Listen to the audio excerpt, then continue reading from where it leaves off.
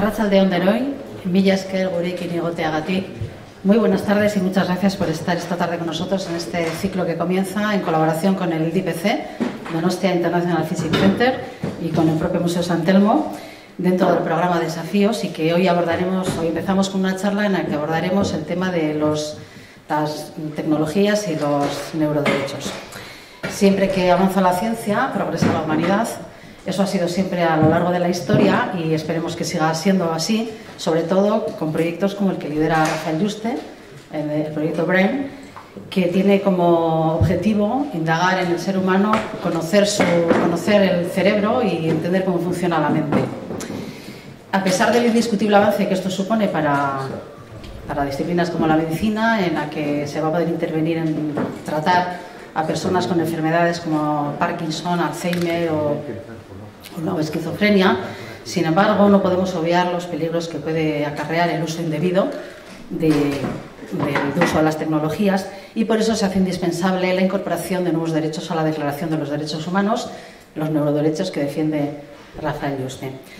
Eh, comenzaremos el acto con una intervención del propio profesor Rafael Yuste, que nos explicará en qué momento se encuentra el proyecto. Luego pasaremos a, una mesa redonda compuesta por nuestros invitados, a los que agradezco sinceramente su presencia. Les voy a presentar. Ellos son Rafael Yuste, neurobiólogo de la Universidad de Columbia y formado como médico en la Universidad Autónoma de Madrid, en el Hospital Jiménez Díaz, investigador visitante del DIPC y miembro de la Sociedad de Ciencias Aranzadi, al igual que sus compañeras eh, Teresa Celaya, miembro también de la Sociedad eh, ingeniera biomédica y estudiante de doctorado en el Donosti International Physics Center en la aplicación de nanotecnologías a las neurotecnologías. Leire Mendiluce, especialista en neumología, ella ha trabajado en el equipo multidisciplinar de enfermedad de motoneurona del Hospital Universitario Germans Trias y Puyol de Barcelona. Es docente de la Universidad de Deusto en el grado de Fisioterapia y el grado de Medicina y miembro de la Sociedad Aranzadi. De eso, que desde hace 10 años trabaja en la comunicación de entidades sin, ánimo de lucro, como Aranzadi y la Fundación ANESBA, todas ellas vinculadas a asociaciones eh, vinculadas a los derechos humanos y al desarrollo sostenible. Como moderador tenemos a Ichol García Charri, él es doctor en Ciencias Físicas e investigador Iker Basque y actualmente lidera el grupo de investigación de nanofotónica en el DIPC, eh, donde estudian la naturaleza de la luz y su interacción con nanopartículas. Y junto a Rafael Juste y otros investigadores forma parte del Basque Nanoneuro Network, iniciativa que estudia la intersección entre las nanociencias y neurociencias. Bueno, como ven, tenemos un plantel Estupendo. Eh, después de su intervención podrán ustedes preguntar lo que consideren necesario, después de que ellos acaben su charla. Y muchas gracias a todos, sobre todo a vosotros. Y nada, podéis empezar como queráis.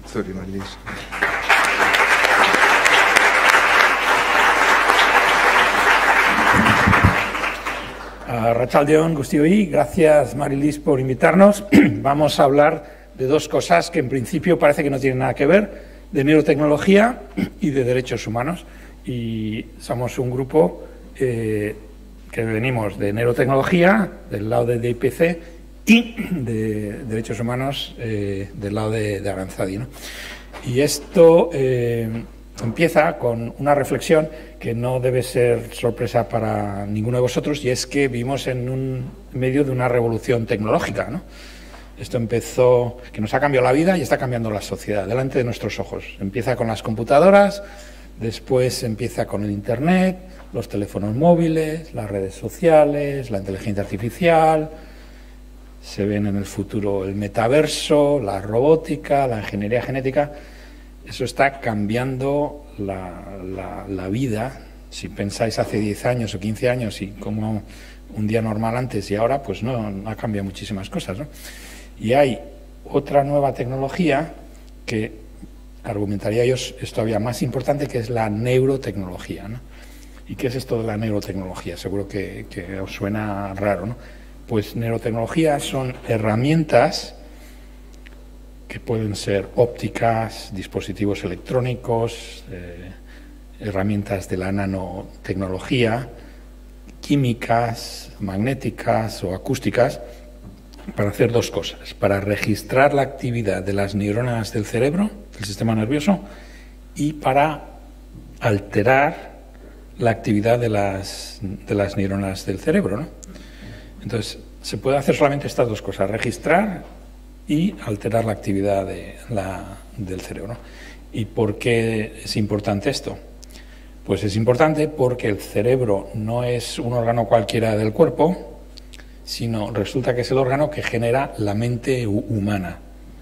Todas las actividades mentales y cognitivas de, los seres humanos surgen del cerebro a consecuencia de los disparos de una red de neuronas que tenemos en el cráneo. Se calcula que son 86.000 millones de neuronas, cada una conectada con otras 100.000 millones de 100.000 neuronas, cada neurona, con lo cual tenemos una, una red neuronal que es como tres veces el tamaño de todo el Internet de la Tierra, cada uno de nosotros dentro del cerebro. Y de esa maraña de conexiones y actividad surge todo lo que somos mentalmente, vuestros pensamientos, vuestras memorias, las emociones, las decisiones, el subconsciente, todo eso surge de esta actividad. Entonces, la capacidad de poder registrar la actividad neuronal y poder alterarla, como la actividad neuronal genera la actividad mental, por regla de tres significa que los seres humanos tenemos por primera vez la tecnología para poder registrar la actividad mental y cambiarla. Y esto tiene muchísima importancia por tres razones. La primera, por razones científicas. Con esta tecnología podremos por fin entrar en poder entender el funcionamiento del sistema nervioso. Ahora mismo no entendemos cómo funciona la máquina, eh, pero llegaremos a entenderla y ahí podremos entendernos a nosotros mismos por dentro por primera vez, ¿no? ¿Qué es la mente humana? ¿Por qué somos como somos? Todo esto tiene una explicación científica y está ahí arriba, ¿no? Entonces podremos llegar a entendernos y será un momento eh, como un renacimiento en la, historia, porque de repente el ser humano se entiende por fin a, sí mismo. Entonces, por razones científicas, la neurotecnología es muy importante, por razones médicas y clínicas es importantísimo, como sabéis, por experiencias personales con familiares y amigos, las enfermedades cerebrales en general no tienen cura. Estoy hablando de enfermedades mentales, enfermedades neurológicas, como pueden ser el, Alzheimer, la esquizofrenia, el ictus, la discapacitación mental, las, parálisis, eh, la epilepsia, el Parkinson. Es la esquina negra de la medicina. O sea, por, esfuerzos heroicos que hacen nuestros compañeros eh, neurólogos o psiquiatras, no están peleando con las manos detrás de la atadas en la espalda porque no conocemos cómo funciona el sistema nervioso, lo que llamamos los médicos la fisiología, entonces no podemos entender la fisiopatología, que es cuando se altera el funcionamiento normal. Por esa razón solo es importantísimo desarrollar neurotecnología para poder por fin diagnosticar estos, síndromes, entender cuál es el problema, la fisiopatología y arreglarlo. La última razón por la cual la neurotecnología es muy importante tiene que ver con las aplicaciones eh, tecnológicas y las consecuencias económicas que va a tener, porque el, fijaros cómo nos ha cambiado la vida con los dispositivos estos que tenemos en el bolsillo. Se piensa, las compañías tecnológicas en Estados Unidos, en todo el mundo, están eh, invirtiendo en sustituir estos dispositivos que tenemos en el bolsillo por dispositivos que tendremos en la cabeza, que pueden ser como gorras, diademas o gafas, que nos conectarán directamente al Internet pero en vez de utilizar los dedos, utilizan el pensamiento, con un ancho de banda, de banda mayor. Y esto se, espera que va a revolucionar la, industria. Entonces, por esta razón, por estas tres razones científicas, médicas, económicas, el presidente Obama en el año 13 lanzó el proyecto de cerebro de Estados Unidos, que es un proyecto que engloba ahora a más de 500 laboratorios con una financiación anual de alrededor de mil millones de dólares con un recorrido de 15 años. Y este proyecto estadounidense ha dado lugar a proyectos similares en otros países, incluida China, Japón, Corea, Australia, Canadá, Israel y la Comunidad Europea. Entonces está todo el mundo civilizado lanzado a una carrera de desarrollar neurotecnología por estas razones que os he comentado. Y las compañías tecnológicas también se han metido ahora mismo, desde hace un par de años, en esta, en esta carrera porque ellas quieren también desarrollar todos estos dispositivos por sacarles rédito económico. Y esto está muy bien. En principio, vamos, eh, yo estoy feliz que haya este empuje, esta revolución neurotecnológica, porque por fin vamos a poder entender el, órgano que nos hace humanos y la, la raíz de todas estas enfermedades. ¿no? Pero hay unas consecuencias éticas y sociales importantísimas, fundamentales. Y por eso digo que esta neurotecnología puede ser más importante incluso que todas estas tecnologías que os he hablado antes, incluyendo la inteligencia artificial, el Internet, las redes sociales, el metaverso. Porque como el cerebro es el órgano que genera la mente humana, el poder entrar y salir con tecnología nos permite acceder a la mente humana. Y la mente humana define lo que somos. Entonces, un grupo de nosotros, eh, representantes de todos estos proyectos del cerebro y de, representantes de la clínica, neurocirujanos, expertos en bioética, filósofos, eh, expertos en, cuestiones legales y en inteligencia artificial, eh, nos reunimos en el año 17 eh, y llegamos a la conclusión que las consecuencias éticas y sociales de neurotecnología es un problema de derechos humanos. Porque si esto no es un problema de derechos humanos, cuál es un problema de derechos humanos. ¿no? Algo que te afecte a la esencia de lo que eres, pues es evidentemente una cosa que hay que pensarla como te puede afectar a, tus propios derechos humanos. Y definimos unos nuevos derechos humanos que los llamamos neuroderechos o derechos cerebrales para proteger la privacidad mental, de manera que el contenido de tus pensamientos eh, no puedan ser eh, descodificados sin tu permiso o solo por razones médicas o científicas. ¿no? El derecho a la identidad personal, para que, porque, porque el yo, lo que somos nosotros, la identidad personal, la conciencia, no sale ahí del aire, sino está generada también por las neuronas del cerebro. Y si tú puedes manipularlas, puedes cambiar el yo. Y esto ya se hace con animales y ha ocurrido alguna vez con, con pacientes también. El derecho también al libre albedrío, para que la, la, la capacidad de decisión sea mantenida por nuestro propio cerebro, no, no esté expuesta a algoritmos y interferencias del exterior que nos hagan perder un poco la, libertad que tenemos a la hora de escoger nuestro comportamiento. Y luego eh, hablamos, eh, propusimos también la idea de eh, derecho al acceso equitativo a neurotecnologías de aumentación cognitiva, que es una cosa que va a ocurrir con certeza, no sé cuándo, pero antes o después la especie humana se aumentará cognitivamente, igual que nos hemos aumentado físicamente, y ya no vamos andando de aquí a Bilbao, sino vamos en coche o en avión, pues con las mismas, en vez de pensar con los circuitos cerebrales que tenemos, pensaremos con circuitos incluso externos que nos complementen y aumenten. La, volaremos mentalmente y esto va a convertir a la especie humana en una especie que tendrá eh, habilidades superiores pero esto hay que garantizarlo que esté regido por el principio universal de justicia, de manera que, sea un acceso equitativo que lleve a toda la sociedad adelante. Y em, entonces, con esta agenda de derechos humanos, quiero acabar diciendo que en este caso de la neotecnología, pensamos nosotros que hay que discutir estos nuevos derechos humanos y ponerlos encima de la mesa y em, abrir un diálogo social que por eso estamos aquí todos, para considerar estas, estas eh, consecuencias éticas y abordarlas con, con, una perspectiva, pensamos nosotros, de derechos humanos. Pero los derechos humanos se pueden aplicar no solo a la neurotecnología, sino a todas estas tecnologías que nos están cambiando la vida, ¿no? a, las redes sociales, al metaverso, a la inteligencia artificial, a la ingeniería genética. Todo esto lo podéis considerar también como algo que puede afectar a los derechos humanos. Los derechos humanos definen qué es una persona. Entonces, si tenemos claro qué tipo de ser humano queremos ser, podemos un poco analizar esto desde el punto de vista de derechos humanos y luego desarrollar todas las tecnologías que queremos siempre que sean consistentes con esta visión.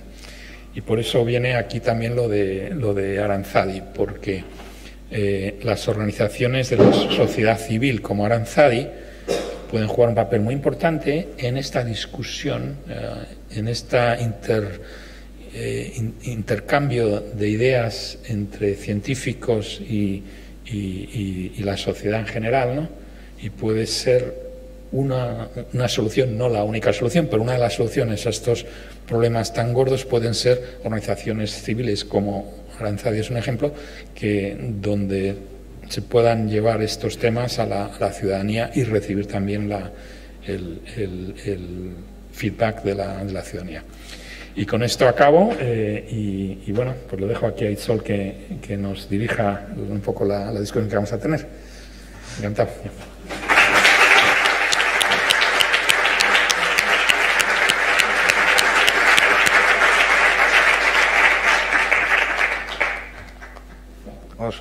Tengo el micro ya. Bai.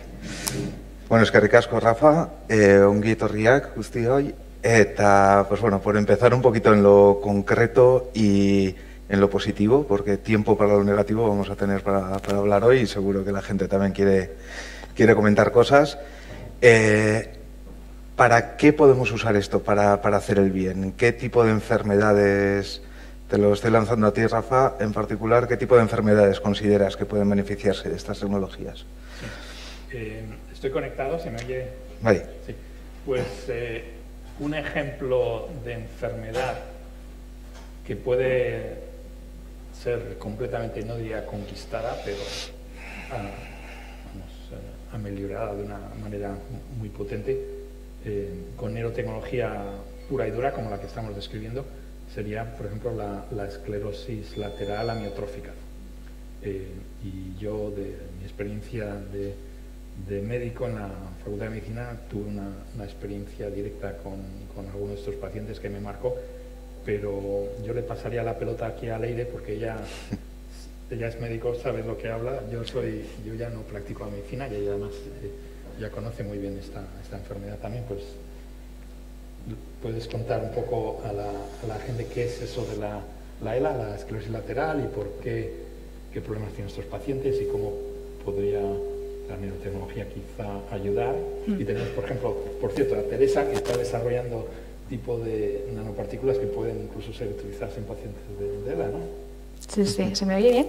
Sí. Pues, eh, bueno, yo he trabajado con enfermos de ELA, con la esclerosis lateral amiotrófica, y un poco para los que no sabéis mucho sobre la enfermedad, es una enfermedad que afecta al sistema nervioso central. Eh, entonces, esta enfermedad afecta a las dos motoneuronas que tenemos en el cuerpo. Una de las motoneuronas nace en la corteza cerebral y la primera motoneurona va de la corteza cerebral a la médula, ¿vale? Y la segunda motoneurona va de la médula a los músculos que tenemos en el cuerpo.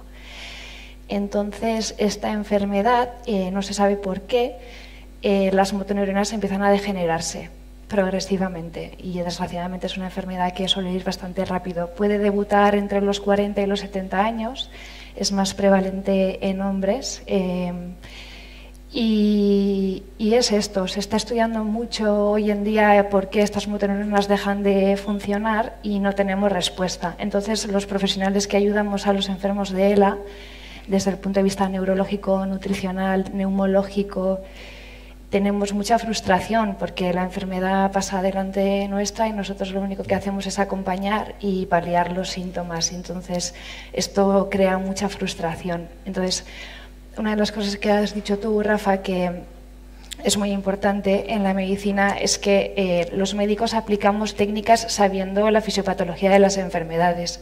Y si no conocemos la fisiopatología de las enfermedades, nosotros no podemos crear tratamientos o que frenen la enfermedad o que la curen. Entonces, eh, parece que la ciencia está llegando como a una especie de límite y entonces que se desarrollen todas estas neurotecnologías para descubrir qué es lo que está pasando en el cerebro y en el caso de la esclerosis lateral amiotrófica descubrir qué está pasando en esa motoneurona sería crucial para crear un tratamiento que intentar que el proceso de, de la degeneración fuera más lenta e incluso intentar curarla porque es una enfermedad que la verdad es que es muy cruel. Yo te cuento eh, dos cosas de esta enfermedad que es de las peores cosas que he visto en, mi vida. Una, que los pacientes se mueren porque no pueden respirar, o sea, se, se, ahogan. Y la otra cosa, que se quedan eh, locking, ¿cómo se dice locking? Sí, enjaulados. Enjaulados dentro de su propio cuerpo, hmm. que no pueden comunicarse con el exterior. Bueno, a veces con, con guiñando el ojo, los ojos, pero es como el el físico este Steve Hawkins, no sé. Stephen Hawking, sí. O también alguna persona famosa. Mm. Bueno, me está diciendo el, jugador este de fútbol, ¿no? El, Unzue. Mm. Entonces, tú imaginas la tragedia que te ocurra eso a ti o que te ocurra a un ser querido, ¿no? Y que no puedes hacer nada como médico, ¿no? los diagnósticos son fatales. yo me acuerdo el, el primer enfermo de, la que vimos, que le diagnosticó el, internista que venía con nosotros, y le, dijo a la familia que estaba esperando fuera, su madre se va a morir, le quedan dos meses y no hay nada que podamos hacer. Entonces, en una situación así tan, tan terrible, pues puede venir una nueva generación aquí como Teresa para intentar eh, remover así la tecnología y, inventar, cosas, inventar cosas que pueden solucionar. Sí. Pues a nosotros eh, lo que estamos haciendo ahora es un proyecto que se llama NanoNeuro, es en colaboración entre varios centros. Yo estoy trabajando en el DIPC aquí en Donosti y lo que estamos haciendo es diseñar y sintetizar unas nanopartículas de oro, unas nanopartículas que miden pues unas mil veces menos que un pelo, para que os hagáis un poco idea del tamaño. Entonces, estas partículas lo que, lo que hacen es que al iluminarlas con luz de un color específico, todos los electrones libres que tienen flotando por ahí el metal van a absorber esa luz, se van a excitar y entonces al tener como toda esa energía absorbida la van a liberar en forma de calor. Se van a calentar, van a calentar la partícula mucho y muy cerca. Entonces si conseguimos llegar con esas partículas a una neurona que sin estar muerta no está funcionando por algún motivo, eh, tiene, bueno, las neuronas en su membrana tienen unos canales que se abren y cierran, y entonces van pasando pues, calcio, potasio y distintas cosas, y así es como se van comunicando. Y eh, se ha comprobado, por ejemplo, el grupo de Rafa en la Universidad de Columbia, que al llegarles eh, calor a esos canales se abren y entonces vuelve a funcionar esa neurona. Entonces, por ejemplo, para pacientes de ELA, pues podría podríamos empezar a investigar cómo, si llegando con estas partículas a las neuronas motoras, poder recuperar su funcionalidad. Sería maravilloso. Sí. Yo antes estabas hablando y te he hecho así un pequeño gesto, pero para comentar una cosa, que estabas diciendo como que se ve que la medicina llega como un poco a un límite, ¿no? que llega a un punto en donde ya no hay nada más. Y esto me lo has enseñado tú, Rafa, que estos límites se rompen con tecnologías nuevas. Mm. Entonces, de ahí un poquito yo creo que la magia de, voy a decir lo nuestro, porque yo también estoy trabajando en este mismo, en este mismo proyecto, ¿no? que es el sueño de crear una nueva tecnología, que a veces cuando la creamos ni siquiera sabemos para qué va a ser usada y en este caso sabemos directamente en qué, en qué podría ser usada. Sí, muchas veces los científicos se creen eh, eh, muy inteligentes y muy superiores y tienen ideas muy brillantes, pero al final del día lo que mueven las cosas son los métodos, las nuevas tecnologías. Entonces, eh, o sea, más o menos la gente eh, no descubre cosas así, eh, a, no ser que tengan un método nuevo que les permita ver algo que no han visto los anteriores, porque no tienen ese, método. Es, es, un poco como el motor de, la ciencia, son los métodos. Y en esto de la neurotecnología, pues es un, es un proyecto de, de desarrollar métodos para utilización en el, cerebro con, todas estas consecuencias, eh, por ejemplo, para la medicina, no para, para ELA. No, no, significa que se vaya a curar la ELA, pero estas nanopartículas, con luz podrías activar estas motoneuronas que están flojas y le puedes permitir al paciente que respire o, o con neurotecnología que registre la actividad cerebral de estos pacientes que están enjaulados, les podías sacar los pensamientos. Y esto ya se está haciendo en Stanford, se hizo el año pasado, y de manera que se puedan comunicar y puedan escribir a, máquina o, hablar pensando. De hecho, un paciente de esclerosis, creo que no, era un paciente de ELA también al que le sacaron del aislamiento utilizando un electrodo, si no me equivoco. Con electrodos, eh, que es una neurotecnología primitiva comparado con lo, que con lo que está hablando aquí Teresa o lo que se está desarrollando en el proyecto de cerebro. Eh, el año pasado les eh, un, paciente de la que estaba enjalado le, pudo eh, eh, escribir eh, en la pantalla a base de pensar 19 palabras por minuto, ¿no? con una exactitud del 95% en términos de reconocimiento de la, de la, palabra. Entonces sería, claro, un, mundo es como le abres un, Sí, porque la comunicación con el paciente es muy importante. Y hay momentos en el que quieres comunicarte con ellos y no puedes. Y cuando no obtienes respuesta y no sabes qué, porque hay conciencia dentro del cuerpo, pero cuando no puedes comunicarte, la verdad es que crea mucha impotencia. Y hay, hay mucho desasosiego en la familia, en el paciente y también en nosotros. Sí, por no hablar del otro lado, ¿no? que yo me imagino a mí mismo en esa situación y, y esa cárcel hay que romperla cuanto antes, vamos. O sea, no... Hondo, yo por involucrar también un poquito a alguien más humanista, por así decirlo, en, la discusión, sí. tengo un pensamiento al que yo le doy vueltas a ciento en viento, ¿no? Como trabajo con, con todo esto también, intentamos o lo queremos intentar eh, registrar las señales del cerebro y alterar las señales del cerebro. ¿no? Pero un buen día, pensando en estos temas, llega a la conclusión de que no es algo que, ya lo estamos haciendo prácticamente a día de hoy, no nos damos cuenta. ¿no? Cuando mm, decimos que queremos leer los pensamientos de la gente, a día de hoy tenemos un bichito en el, bolsillo que no nos lee el pensamiento, pero nos lee todo el comportamiento, que al final es una barrera un poquito anterior a la que viene a ser la privacidad que te da el pensar en algo y que el lado no lo sepa. Pero todo lo demás, el día a día, la información más importante la estamos regalando ya a día de hoy.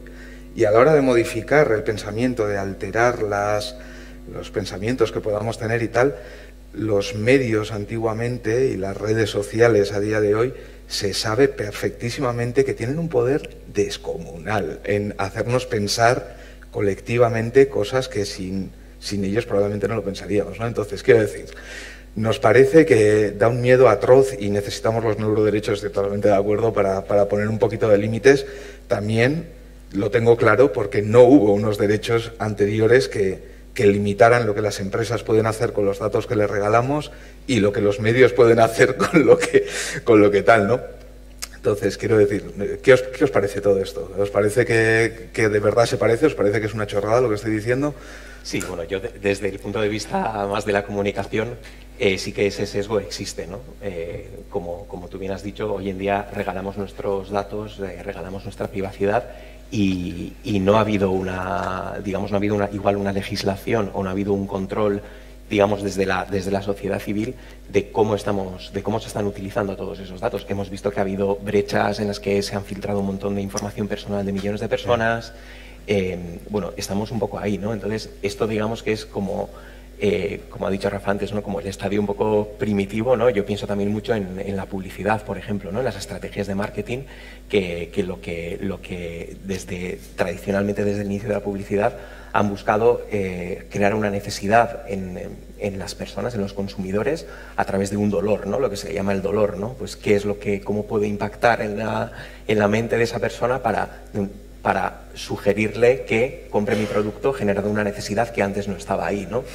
Eh, digamos que eso es un poco como, como la versión un poco más paleolítica de, lo que estamos hablando hoy, ¿no? Entonces, sí que creo que, y, creo que es muy pertinente lo que, lo que ha comentado Rafael, ¿no? Que tiene que haber unos, un, marco de unos derechos, un marco ético detrás de, todas estas nuevas eh, tecnologías, porque, porque si no es muy fácil caer en el, en el, mal uso, en el uso un poco eh, inmoral de, de, todas ellas. Lo vemos con los derechos humanos. Los derechos humanos, la Carta de los Derechos Humanos es, es muy bonita, es muy ambiciosa, eh, lleva más de 60 y 70 años casi eh, ahí, pero, pero en la práctica no se están cumpliendo. Hay, sigue habiendo muchas desigualdades, se vulneran los derechos humanos todos y cada uno de ellos todos los días en diferentes lugares del mundo. Entonces, eh, está muy bien pensar y soñar que, vamos a poder tener un marco ético, eh, unos neuroderechos, pero luego hay que cerciorarse de que realmente eso se va a cumplir y que, y que, va, a haber, y que va a haber realmente un control eh, desde yo creo mucho en, la organización de, la sociedad civil para ejercer un poco de presión a, a los gobiernos o a, o a la gente que, legisle un poco estas, todos estos temas, pero creo que tiene que haber un, control, ¿no? O sea, hay que ser un poco escépticos también con eso. Claro, o no. no pero, ¿Cómo organizarías tú el control? eh, es muy difícil, presidente. Eh, no lo sé, no, no, tengo ni idea. Hombre, sí que creo que, que tiene que haber, eh, y, y, me parece por eso muy buena idea que, que hoy os hayáis unido todas las, todos los, los grupos de investigación que estáis trabajando en, en, temas de mapeo del cerebro y en, neurotecnología y para, para, definir un poco, discutir un poco estos, estos neuroderechos, pero yo creo que tiene que haber una, legislación clara a nivel internacional que, lo refleje así, un compromiso a nivel internacional, porque pueden pasar eh, muchas cosas. Yo ahora mismo estoy trabajando en, en una organización que se dedica al derecho a la salud en contextos em, empobrecidos de África y, con la pandemia de la COVID lo hemos visto. Eh, el derecho a la salud se ha vulnerado porque eh, ha habido un, acceso eh, que no ha sido equitativo, a, por ejemplo, a, las vacunas contra la COVID-19.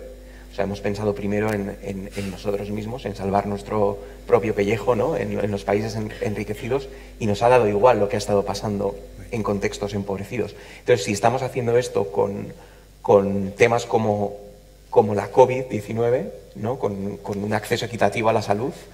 ¿Por qué no vamos a hacer esto y vamos a ser egoístas con una tecnología que nos permita eh, que seamos superhombres y supermujeres? No, es, un problema muy gordo lo que, lo que dices, Miquel, porque o sea, podemos hablar también en plan teórico y soñar con con nuevos derechos humanos, pero como dices tú, si ni siquiera se, cumple el derecho básico a la salud en, las zonas del mundo que no están eh, entre los países eh, más industrializados, pues es un poco como utópico, ¿no? Pero por otro lado, yo lo que pienso es que quizá no eh, tendríamos que hacer cada uno lo que podamos donde podamos y que pongo un, ejemplo que mi, mujer, que la tenemos aquí, es, eh, es de, raza judía y los judíos tienen un eslogan que lo dicen Tikkun Olam, que significa reparar el mundo. Y es como uno de los eslóganes de, del judaísmo, reparar el mundo. Entonces, en, los días eh, santos de que vas a la sinagoga, el libro que te dan pone Tikkun Olam en el título del libro. Es como el objetivo de un, objetivo de la vida es reparar el mundo. Entonces, según me, ha comentado ella, si el mundo no tiene solución, eso no te exime del deber de reparar el mundo. o sea, que tienes que reparar el mundo aunque no tenga solución. Entonces, si cada uno de nosotros hiciéramos eso, pues eh, incluso a un nivel local, aquí pues, pues eso, incluso con, con ¿no? O con organizaciones locales, ¿no? Esto que dicen de... Eh, pensar globalmente pero actuar localmente. Pues poco a poco se podría un poco generar eh, pues una masa de gente que puede alterar la, pues la carta de derechos humanos de la ONU, por ejemplo. yo, creo que, tiene que estar, que bueno, al final las organizaciones de la sociedad civil, las organizaciones sin ánimo de lucro, realmente son agentes de cambio y son muchas veces que, las que ejercen una presión sobre, sobre ciertas decisiones que se toman a un nivel más alto. ¿no? Entonces empezar desde lo local y generar un espíritu crítico eh, para estas nuevas eh, oportunidades que están surgiendo, porque sí que creo que desde, desde el punto de vista médico es, vamos, una pasada ¿no? que podamos estar hablando de de, curar o paliar enfermedades como, como, la ELA o como el Alzheimer o, el Parkinson, pero, pero, siempre tenemos que tener, creo que siempre tiene que estar atravesado, toda, todas estas nuevas, nuevos avances tienen que estar atravesados por, por las ciencias sociales y humanas. Y creo que integrar a gente de la filosofía, de la antropología, de la sociología, eh, puede ser muy enriquecedor y también puede ser un resorte eh, muy necesario para, para complementar todos estos avances. ¿Y qué opinaríais si hubiera que hacer eh, un pacto sobre, pues, con la comunidad científica, o, pero sobre el uso y avance de las nanotecnologías, pues como la conferencia de Silomar del 75? Bueno, vaya pregunta. en la conferencia de Silomar decidieron hacer un moratorio de, en la ingeniería genética para que no avanzase tan rápido, mm. hasta que no estuviesen claras las reglas. Entonces, pues una posibilidad sería hacer un moratorio con la neurotecnología o con otras tecnologías como la inteligencia artificial, el metaverso, eh, la robótica, hasta que no tengamos las cosas claras. Pero claro, tú díselo eso a un paciente de, ELA. De hecho, te miran a los ojos y no solamente de ELA. Ayúdame, ayúdame. Y tenemos la obligación eh, como médicos de,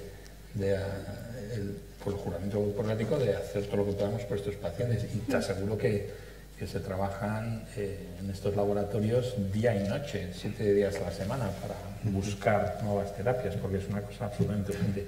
Entonces tenemos un poco esa, ese compromiso. ¿no? Por un lado, nos estamos metiendo en, tecnologías que son ya muy potentes, pero por otro lado tenemos la necesidad de desarrollarlas. No, sé, ¿qué, harías tú? No sé. Yo acabo de empezar en esto de la ciencia. Bueno, a veces la gente que empieza tiene ve las cosas más claras porque no tienen el, tenéis la ventaja de, que no tener los perjuicios de, que llevamos, que, hemos heredado de, de otras generaciones. Bueno, al final tenemos muchas preguntas y pocas respuestas. Y es que antes cuando estabais hablando del tema de, las legislaciones, al final ahora mismo ya no solamente cuentan los países, porque todas las grandes compañías tecnológicas actúan como pseudoestados. Y a los dirigentes esos no los elegimos democráticamente, va por el mercado. Entonces, ¿cómo podemos estar seguros de que todas esas tecnologías, que además nosotros les estamos dando sus datos, oye, bueno, no sé vosotros cuántos, cuántos metéis a Internet rápidamente y os ponen eso de aceptar y cerrar, cuántos os leéis realmente todo lo que estáis, todos los datos que estáis consintiendo vuestros, yo pocas veces. Acepto y cierro y tienen todos mis datos. Entonces, bueno, pues igual ahora mismo que vean que me estoy metiendo a comprar unos zapatos me da igual. Pero ya como puedan meterse a leer lo que estoy pensando... Claro, podemos llegar a un escenario de control mental que igual es lo que mucha gente... Yo tengo las, mis dos preguntas rondando en la cabeza son, uno, ¿pueden controlarnos mentalmente? Y dos, ¿puede haber super soldados? no, porque el, componente militar está ahí, o sea, yo creo que siempre muchas veces la tecnología al final se ha terminado utilizando. Pues pueden controlar mentalmente, ya se hace con animales, lo que se puede hacer hoy con ratones se puede hacer con, con personas. O sea, técnicamente será posible, ¿no? Eh, y supersoldados, os comentaba antes que había tres razones cuando eh, empezamos con el proyecto Brain de. La presentación a la Casa Blanca era tres razones de hacer esto: científica, médica y económica. En, el año 11, eh, cuando mandamos el primer borrador del proyecto, resulta que hay una cuarta razón que entonces no pensábamos, que es militar. Claro, que es militar. Y esto, eh, el año pasado, nos llaman a la Casa Blanca en noviembre, eh, pero nos, nos, convoca el Consejo de Seguridad Nacional. Y digo, bueno, ¿esto para quién habla conmigo? ¿Qué, qué habré hecho? ¿no? estos son, eh, lo tuve que mirar en internet, que es el Consejo de Seguridad Nacional, pues estos son, ¿os acordáis de la foto de cuando mataron a Bin Laden? Los que estaban en la foto, esos. Ese es el Consejo de Seguridad Nacional, el presidente, la vicepresidenta, el jefe del Pentágono, el jefe de la CIA. Y estos tienen, entre otras cosas, se dedican a mantener dos listas de la gente que la llaman de kill list, que es la gente que se puede matar. Están autorizados el gobierno de Estados Unidos a asesinar. Y hay dos, una para ciudadanos americanos y otra para extranjeros. Bueno, y esto es para que quieren hablar conmigo, ¿no? Y era todo, tenía que ver la conversación que les contase todo lo que sé de la neurotecnología en China porque resulta que el proyecto de cerebro de China, que parece que es tres veces mayor de Estados Unidos, lo dirige el ejército. Y la idea es mezclar neurotecnología con inteligencia artificial. Y esto el Consejo de Seguridad Nacional de Estados Unidos se acaba de dar cuenta y es un problema que dicen ellos que es de, seguridad nacional y quieren informarse de, los expertos qué cosas se pueden hacer, qué cosas eh, son posibles. Y vamos, respondiendo a la pregunta de Miquel, pues lo de los supersoldados yo creo que van por ahí los, tiros. Pero por otro lado, sí que es verdad que a nivel militar se podría emplear para hacer el mal, pero también se podrían evitar guerras. Eso, también es verdad. Sí, pues esta es una cosa, una idea que me, me encanta, porque decías antes, no sé, creo que fue porque... ¿Mejor ahora? No lo sé si pero se puede controlar la mente de, de los animales. ¿no? Pero no lo sé. Sí, no sé dónde se acusa. Mejor así, yo creo que así me lo controlo.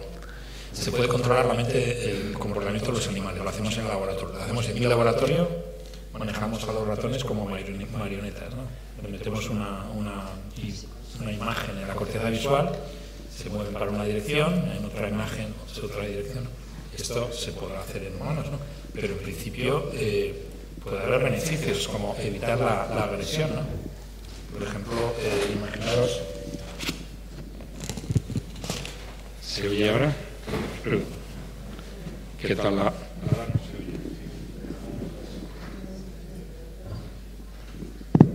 Ahora mejor. Ahora sí.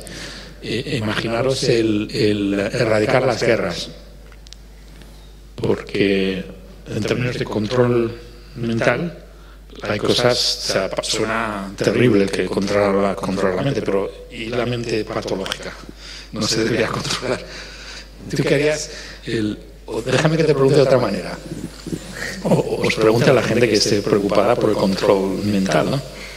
Nos levantamos todos los días, leemos el periódico y se están matando la gente en guerras, pero desde siempre. Es una cosa endémica la humanidad. Y lo, damos por natural, como si fuese lo más normal del mundo. Pues otra, hay otro, otra guerra en otro sitio, si no es aquí, es allá. Y estamos preocupadísimos por la pandemia, desarrollando eh, vacunas para protegernos de los virus, bueno, la mayor amenaza de los humanos es los otros humanos. Porque ya esto es que resulta que si está legitimado matar a la gente si es una guerra, te ponen medallas incluso, ¿no? Pero bueno, ¿qué, es esto? ¿En el siglo XXI? Pues, por favor, ¿no? ¿Por qué no podemos erradicar las guerras? Si sabemos, podemos entender qué parte del cerebro tiene la agresión fraticida o, eh, las agresiones de género, de dónde salen, ¿no? Si pudieras hacerlo, ¿no lo evitarías? Sí, sí, pero yo, yo barro un poco más para, para mi casa y creo que también hay un componente social y cultural en todo ello. Por ejemplo, cuando hablamos de violencia, igual una guerra, muchas veces yo, yo pienso, no, es que estamos gobernados por psicópatas. Pero, por ejemplo, con la violencia de género, ¿no? Eh, yo creo que hay un componente muy, muy cultural, muy de, de, de cómo la sociedad eh, nos, educa y nos hace relacionarnos y en la desigualdad y en la, y en la violencia. ¿no? O sea, al final, eh, históricamente venimos de un, sistema que, que oprime eh, sistemáticamente a, todas aquellas personas que, que, se salen de la norma y que, y que representan una, una diversidad. Incluso, comentábamos antes de entrar aquí, Leire y yo, volviendo un poco a las personas con, con pueden tener enfermedades mentales. Eh, yo que sé, hoy en día se diagnostica mucho pues, trastornos de déficit de atención ¿no? en, niños y adolescentes y hasta qué punto eh, realmente es un trastorno que debemos tratar con, con, con, pastillas o con medicina o con nuevas tecnologías y no es una forma en la que realmente esas personas, eh, su cerebro funciona de una forma diferente, pero no necesariamente mal. Igual es que simplemente nuestra sociedad no está adaptada para para que estas personas puedan desarrollarse eh, de la forma en la que sus cerebros están funcionando. Yo creo que con la violencia es un poco lo mismo. Realmente es algo muy sistémico que sí que se podría controlar a través de, de, estas nuevas, eh, de estos nuevos avances, pero también tengamos un, componente eh, más desde la, desde la humanidad, desde la, desde la sociología, la psicología y la antropología de entender ¿no? cómo, cómo funcionamos, ¿no? o sea, complementémoslo. Yo creo que ahí está la clave. Sí, pero antes Leire hablaba de los límites de la medicina eh, para llegar a tal. No sé yo si también la psicología, la sociología, la antropología, si, si no tienen límites también a la hora de entender el cerebro humano, claro, claro, entender el comportamiento, perdón, que es un poco lo que, lo que diría desde el lado más humanista, ¿no? Eh, ¿Qué te parecería si desde el lado más científico os diéramos herramientas para que entendierais el comportamiento humano de una manera más, eh, más científica, por así decirlo, con todo el respeto ¿eh? a, sí, las ciencias? Vamos, yo creo, vamos, en la multidisciplinaridad, desde luego, creo que tienen, tienen que estar complementadas ambas visiones, ¿no? porque al final yo creo que para entendernos como, como sociedad, como, como seres humanos, pues hay que aportar desde, desde todas partes. No, no puede haber una visión parcial o un, sesgo de, bueno, pues tiramos solo por aquí, de vamos a, a, tirar por la medicina, por las nuevas tecnologías, y tampoco podemos tirar por todo es cultural y vamos a, abordarlo desde las ciencias humanas, ¿no? Sí, sí, sí. Claro. O sea, yo por lo menos que yo desde humanidades no puedo hablar, yo puedo hablar de la ciencia, pero desde mi formación yo sí que he echado de menos mucho una parte humanista. O sea, creo que al final a mí sí me ha interesado mucho la línea entre la ciencia y la ética y yo, por ejemplo, que ahora estoy empezando mi etapa de doctorado y toda la formación científica que tenía detrás, te enseñan a saber formular preguntas, a seguir el método científico para conseguir una respuesta, pero al final a mucha gente se le olvida por el camino cuál es el objetivo general, que es que no es publicar un paper, es cuál va a ser el impacto en la sociedad. Entonces yo creo que al final poder tener como esa formación en, ética, en sociología, en política, en, puede ayudar a, a cualquiera. Yo, eso para nosotros. Luego ya a vuestro lado es que pero yo creo que es lo que dices tú, que al final tenemos que compenetrarnos un poco y... Hay una propuesta de un colega mío de la Columbia que se llama Philip Kitcher, que es un filósofo eh, especialista en la filosofía de la ciencia. Eh, y este dice, escribió un libro hace, ya hace unos años, que decía que la ciencia es demasiado importante para dejarla en manos de científicos, que la, ciencia es el motor del progreso. O sea, si pensáis en, en, la humanidad, el progreso de la humanidad, si tiras un poco del hilo, siempre es porque un científico, una científica, 20 años más antes ha descubierto una cosa que igual al comienzo no se sabía para qué servía y después resulta, ah, pues esto se puede hacer un transistor, ah, pues con el transistor se puede hacer una, una computadora, ah, con la computadora pues es un poco, pero esto empieza hace décadas con un científico y un físico eh, jugando. ¿no? Entonces, el, el, argumento de, de Kitcher es que como la ciencia es el motor de todo el progreso de la humanidad, que no tendría que estar en manos de científicos, que tendrían que opinar la ciudadanía en qué dirección se tendría que investigar y en qué dirección eh, se tendría sobre todo que invertir dinero. Eh, y él habla de como paneles donde se discute la dirección de, la ciencia. En los paneles, evidentemente, tiene que haber científicos, expertos en el tema, pero invitar a la mesa a representantes de la ciudadanía. Y él decía que no a políticos. sino esto es la idea un poco que llaman la democracia directa, me parece, ¿no? No sé cómo se, se llama aquí, ¿no? Eh, uf, pues no sé, no, no, no, le pongo nombre. Una idea muy, muy curiosa, que es si tú escoges a gente casi al azar, ¿no? Y les pones en una mesa, les das un, un problema como, el, por ejemplo, creo que lo hicieron en, en Francia con el cambio climático, ¿no? La Asamblea Ciudadana. La Asamblea Ciudadana, eso ¿Te sabes tú la historia de eso de...? Sí, al final, al final para, para, para, el tema del cambio, no sé muy bien la historia, pero en Francia se eligieron a 150 o 200 personas eh, que, que representasen de una forma un poco demoscópica a la sociedad francesa, pues de todas partes, edades, profesiones, nivel de estudios, etc., para debatir sobre las políticas eh, que debería tomar el, gobierno francés eh, frente al, cambio climático. Entonces estuvieron reuniéndose durante varios meses, creo, y, sacaron como una, especie de, documento donde se, hacía la petición a, la Asamblea francesa de, pues, lo que se había decidido en la Asamblea Ciudadana. ¿no?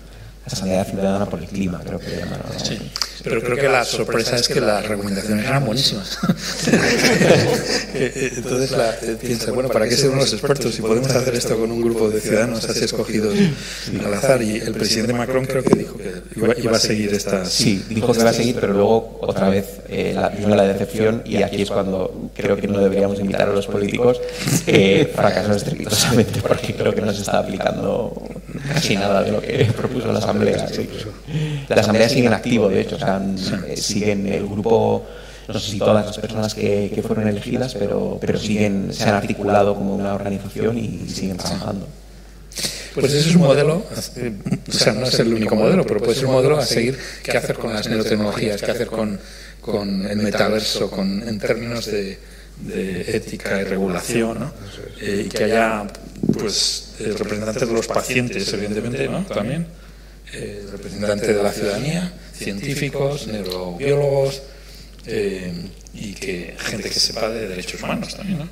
Y que, vean cómo se puede encajar todo esto en una discusiones públicas.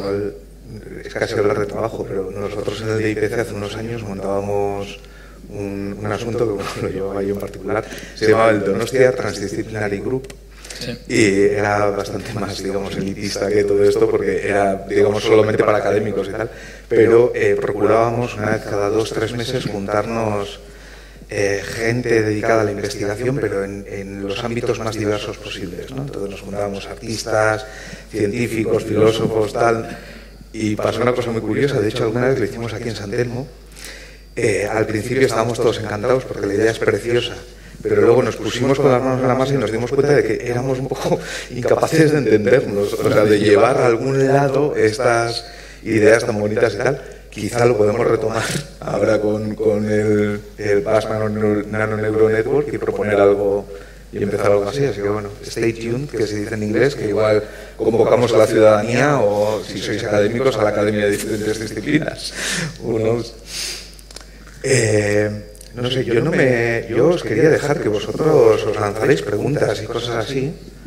Si no, ataco. Yo tengo aquí para, para dar y tomar, pero quizá aunque sea cambiar de tema, quizá tenéis alguna pregunta preparada desde casa que, que os queréis hacer los unos, las unas a las otras. bueno, yo, eh, hablando de lo que estábamos hablando antes de los distintos países y tal, quería preguntarte, Rafa, eh, porque claro, yo por cosas que he escuchado, por diferentes proyectos, al final la ética en, lo, todo, que en cada país es muy diferente. Hasta dónde puedes avanzar, cuál es el límite de la ciencia en aquí China, Estados Unidos o va a ser muy distinto? Muy buena pregunta. Por eso, eh, esa fue una razón que nosotros un poco dejamos de hablar de ética en esa reunión que tuvimos en el año 17 y empezamos a hablar de derechos humanos. Porque los derechos humanos es otra historia, es otro nivel. Ya es como una, un acuerdo internacional tanto la Declaración Universal de Derechos Humanos, que es, por cierto, el documento que más se ha traducido en la historia, más que la Biblia. Eh, y, los tratados internacionales de derechos humanos, hay, sobre todo hay ocho principales tratados, han sido firmados eh, por 145 eh, países que representan el 95% de la población mundial. Entonces, en términos de consenso global mundial, no hay nada más que, o sea, mejor quizá que los derechos humanos. Y ahí te separas un poco de la ética, ¿no? Porque cada país y cada cultura puede tener una ética distinta, pero si están de acuerdo en, en el, Tratado Internacional contra la tortura, pues ahí, independientemente de la ética, todo el mundo está de acuerdo con eso, ¿no? Entonces, por eso eh, utilizamos los derechos humanos como una plataforma que es global. Y con un poco también respondiendo a la observación que has hecho antes, que también muy acertada, que de qué sirven los gobiernos y las multinacionales van por su cuenta. Pues resulta que la, con tratados internacionales de derechos humanos, las multinacionales están siempre en un país, por definición, y si el país ha firmado ese tratado, la multinacional es responsable. Entonces les pilla la responsabilidad a través de el haber sido establecidos en un país. Eh, cuando se aprueba, el momento que un país ratifica un tratado de derechos humanos, hay un periodo de unos meses en los cuales toda la legislación interna tiene que estar de acuerdo con ese tratado. Y si no lo está, la tienen que cambiar. Eso significa que todas las empresas que trabajan en ese país se tienen que alinear con el tratado nuevo. Entonces, imaginaros que hay un tratado internacional eh, sobre la privacidad ambiental. Eso sería mi sueño, ¿no? que lo firmen pues, 140 y tantos países eh, y, y, a una empresa que empieza a utilizar tus datos cerebrales para venderlos a, pues esa empresa, cualquier ciudadano del, país puede denunciar a la empresa o al país porque este tratado internacional no se cumple. Y esa empresa, eh, y, a través del país, tiene ya consecuencias penales. Y son serias. Los tratados internacionales de derechos humanos son las, las quizá las leyes internacionales de más ahínco, ¿no? que tienen como más garra. Y además quizá podría ser una oportunidad para legislar lo que no se legisló a tiempo. O sea, el, uso de nuestros datos eh, personales, quiere decir, no ya tanto del cerebro, sino simplemente del comportamiento. Porque quitas una palabrita y te vale para las dos, ¿no? Mira, pues en eso... Eh, este comentario eh, me ha recordado lo que, otra cosa que nos pasó ese día que fuimos a la Casa Blanca en noviembre, porque aparte de contarles todo lo que sabíamos sobre China, eh, empezamos a hablar de, bueno, nosotros llegamos con la historia nuestra diciendo, ¿por qué no utilizamos derechos humanos para regular la neurotecnología? Y estos dijeron, oye, pues, ¿por qué no, nos ayudáis con derechos humanos para regular la inteligencia artificial? Porque llevamos, eh, llevamos una racha que no hemos podido hacer nada.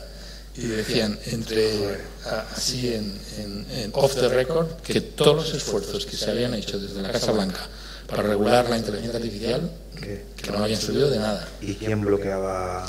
Porque el problema es que se, se, se pide a las compañías que se autorregulen y por definición las compañías no se autorregulan. Pero como no hay consecuencias serias, pues es como unas reuniones en que todo el mundo se da palmaditas a la espalda, todo el mundo está de acuerdo en, en un mundo mejor y no ocurre nada. En cambio, si tú tienes un Tratado Internacional de Derechos Humanos, eso es otra historia. Entonces les interesó muchísimo esta idea que os he comentado al final, que es ¿por qué no abrimos los derechos humanos no solo a la neurotecnología? La neurotecnología, neurotecnología es como la punta de lanza, ¿no? Porque es, vamos a, nosotros nos parece evidente que esto tiene que ser una cosa de derechos humanos porque afecta a la esencia del ser humano. Pero si abres un poco con detrás de esa punta de lanza, dices, ¿por qué no metemos ahí detrás la inteligencia artificial, el internet, las redes sociales, el metaverso, ¿no?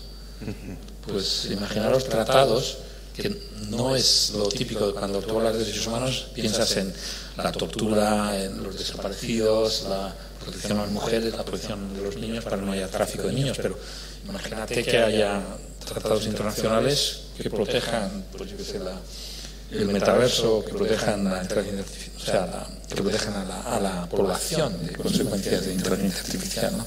Pues sería una, una, una manera distinta de ver el problema, ¿no? Supongo que una ventaja que tenéis en los neuroderechos es que todavía no hay demasiado negocio detrás de ellos, ¿no? Entonces, a la hora de regularlo, igual es importante llegar a tiempo, porque el peligro que le veo yo a esta estrategia es que en el momento que igual metas algo que afecta a Google, que afecta a Facebook, que afecta al gobierno de China, tal, que ahí ya de repente cae un veto y te quedas sin neuroderechos y sin regulación adicional. ¿no? Bueno, tengo ya Neuralink. Ahí vamos, o Facebook en sí mismo. Sí. Eh, eh, no, eso son, eh, son preocupaciones que tenemos y que compartimos. O sea, el mundo no es perfecto y hay todos estos agentes que pueden, eh, que pueden oponerse por razones eh, de, de todo tipo, ¿no?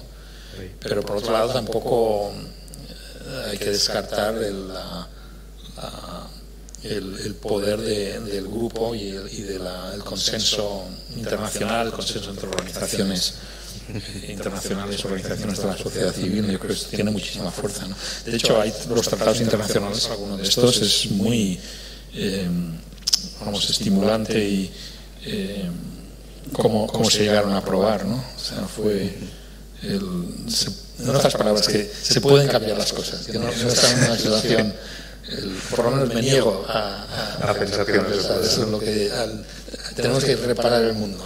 Bueno, por poner una nota positiva ahí en esa línea, en Chile ya son una realidad a día de hoy y creo que este año ibais a por, por la mayor, ¿no? Sí, eso, eh, Aisol se refiere a lo que ha ocurrido en Chile, donde el, el Senado de la República, eh, con nuestra ayuda desde fuera, eh, decidió cambiar la Constitución con una enmienda constitucional que protege a la actividad cerebral y a la información procedente de ella. Entonces, esto fue aprobado unánimemente por el Senado, o todos los partidos políticos. El Senado en Chile es, la Cámara más importante. Después, el- la Cámara de Representantes, el Congreso de Chile, lo aprobó también con unanimidad. El presidente de Chile lo firmó.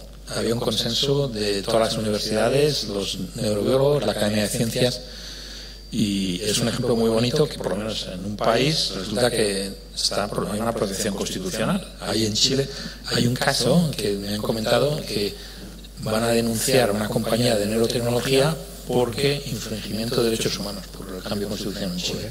O sea, ya es- será una realidad, un juicio, un, un el pleito. primer juicio. El primer pleito, ¿no? Entonces, pues eh, la, en Chile, si sabe, conoces el país, son muy echados para adelante. Eh, y- pero están metidos también en intentar regular la inteligencia artificial, la- las redes sociales. ¿no? Eh, y sería un ejemplo a seguir. Igual se podía se podía hacer una cosa parecida. De hecho, estamos trabajando con Naciones Unidas porque están estudiando lo de Chile con mucho cuidado, porque el secretario general se quiere involucrar en poner los derechos humanos al día. ¿no? ¿Y hay de nuestro gobierno? Porque también le, le gusta ser punta de lanza en muchos Sí. asuntos sociales en el mundo. Pues mira, eh, en España eh, hay relativamente buenas no- noticias, porque ahí está la Secretaría de Estado de Inteligencia Artificial, que depende del de la, de la vicepresidenta Calviño, del Ministerio de Economía, y la Secretaría de Estado la dirige Carmen Artigas y em, sacó a la luz, eh, después de una consulta ciudadana, eh, la Carta de Derechos Digitales, que es una carta de declaración de intenciones que protege a la ciudadanía de eh, eh, abusos que vengan de tecnologías digitales y ahí se han incorporado estos neuroderechos de los que hablaba, los han metido en la Carta de Derechos Digitales. Eso son buenas noticias. Ahora, esta Carta de Derechos Digitales no es una ley, no tiene vigor legal. Es simplemente una declaración de intenciones que puede resultar en leyes, como en el caso de Chile, o no. Pero bueno, este es un paso, paso valiente, yo creo no estamos tan lejos, si no recuerdo mal, en España, bueno, si no recuerdo mal, no es una realidad. Si en Google, digámoslo fácilmente, si no te gustan los resultados que salen cuando pones tu nombre, puedes pedir que quiten los links, por ejemplo, porque en España es un derecho que tenemos. Eh, y en otros países no.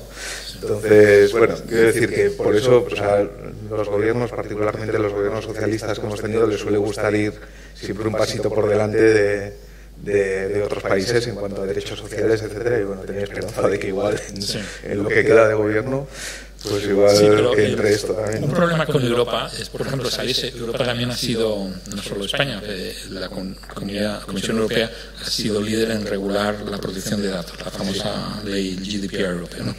Entonces a las compañías tecnológicas les ponen unas multas de mil millones de euros por infringimiento de esta ley. ¿no? Pero claro, estas compañías tecnológicas ganan mil veces más, entonces lo pagan de, con la caldería que les queda y siguen haciendo lo mismo. Entonces esto no es un buen modelo, me parece a mí. O sea, está bien que se haga, pero esto no va a solucionar el problema. En cambio, si fuese un problema de derechos humanos y hubiese un tratado internacional, el, el, el, Mark Zuckerberg, cuando huele a fuera de Estados Unidos, le pueden detener en la aduana porque dice, oiga, usted está requerido por una causa, por una cuestión de derechos humanos. ¿no? Claro, eso ya son palabras mayores. Ahí seguro que dejarían inmediatamente de, romper la ley, ¿no? Se lo piensan un par de veces antes, ¿no? Sí, sí. Bueno, pero y hablando de aquí, con el Centro Nuevo de Neurociencias que van a montar en Madrid, que tiene el objetivo de ser pionero internacional y ¿tú crees que igual por ahí podríamos empezar a...? Sí, este, eh, está comentando eh, Teresa eh, la creación de un centro que se llama Spain Neurotech, una red en realidad, de neurotecnología, que es una especie del proyecto de Brain de, España, que, bueno, lo anunció el presidente Sánchez, la vicepresidenta Calviño hace dos semanas, con fondos europeos de construcción y en, eh, eh, colaboración con la Comunidad de Madrid, que pone también sus propios fondos. Y la idea es crear una red con un nodo central y con eh, nuevos satélites que desarrollen neurotecnología en España, como el proyecto de, de Bren de Estados Unidos, pero con una diferencia que, teniendo un, nodo central que eso no ocurre en Estados Unidos, que yo creo que es un error que el proyecto de Bren de Estados Unidos no, no se creó un nodo central, ¿no? porque hay ciertas cosas que solo se hacen en, en unión de, de muchas partes. Y claro, este Si sale adelante, lo lógico es que lleve la bandera también de la ética y de, la, y de la, los neuroderechos. ¿no? Sería una manera eh, en la que España podría ser pionera, o Europa, porque la idea también es que este centro sea un centro europeo. Que Europa sea pionera no solo de cuestiones de regulación con leyes puras y duras, sino también en abordajes quizá de derechos humanos a tecnologías. ¿no?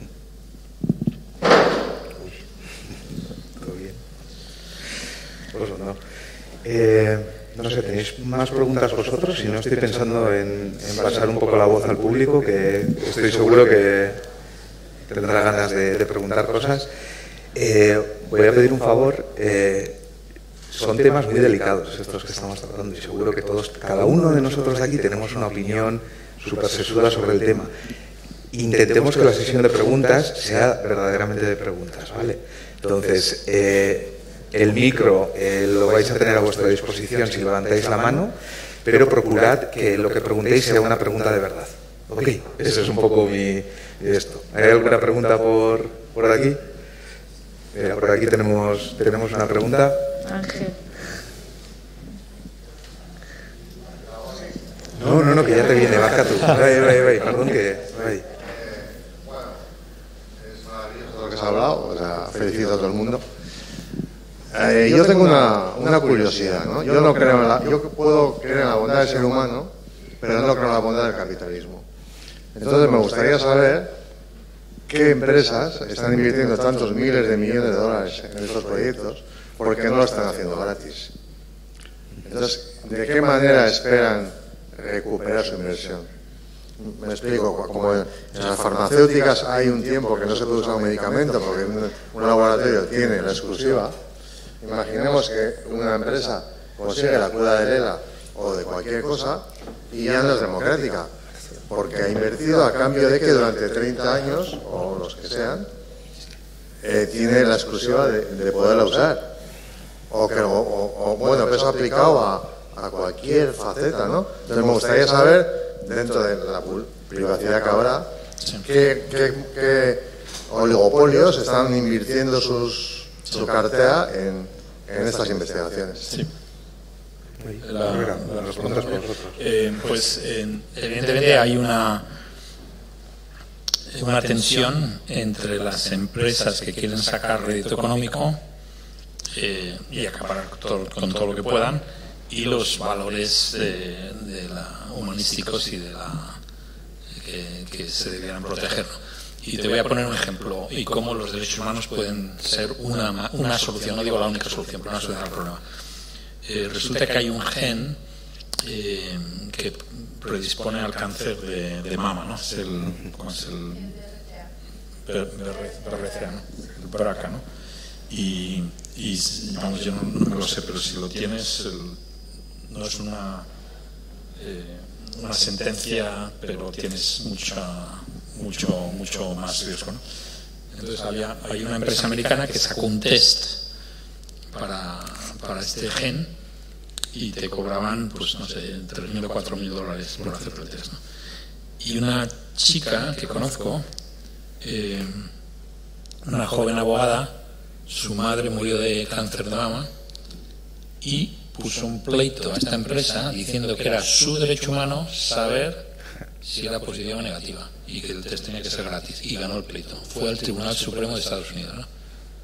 Entonces, este es un ejemplo de cómo se puede utilizar los derechos humanos como una herramienta para proteger, por lo menos defender un poco la, la situación eh, frente al capitalismo desaforado, ¿no? que hay no es eh, que hay ciertas reglas de juego que tienen que, que, seguir. Vamos, es un caso concreto, entonces, pero te lo digo porque estamos hablando precisamente de un marco de derechos humanos que pueda regular todo esto. Entonces, si hubiese ya legislación más concreta de derechos humanos, pues claro, una, cualquier empresa que quiera recuperar su inversión se tiene que ajustar a las reglas de juego.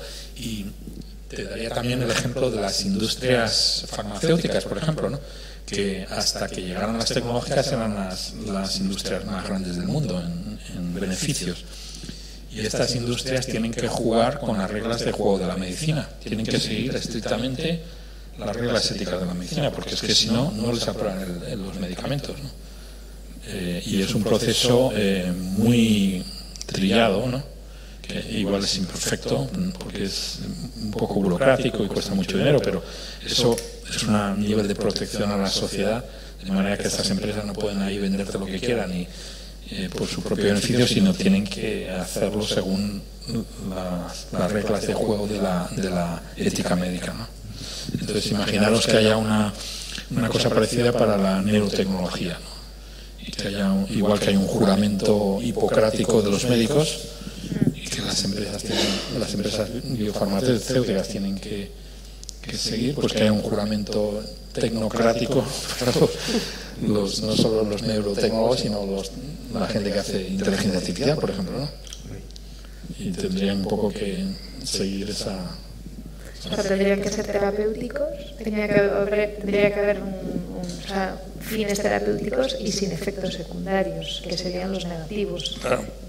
Sí, o sea, en el, yo no, me acuerdo de la, Facultad de Medicina, lo del juramento hipocrático, que, que seguro que tú también lo, lo, juraste, ¿no? que eran, son esencialmente tres principios. ¿no? El principio de beneficencia, de, hacer bien al, paciente, ¿no? Principio de justicia, tratar a todo el mundo igual, no puedes tratar a un paciente sí y otro, y otro no.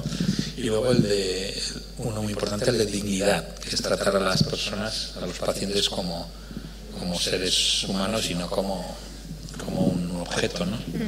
Entonces, imaginaros trasladar estos principios, por ejemplo, a la tecnología, ¿no?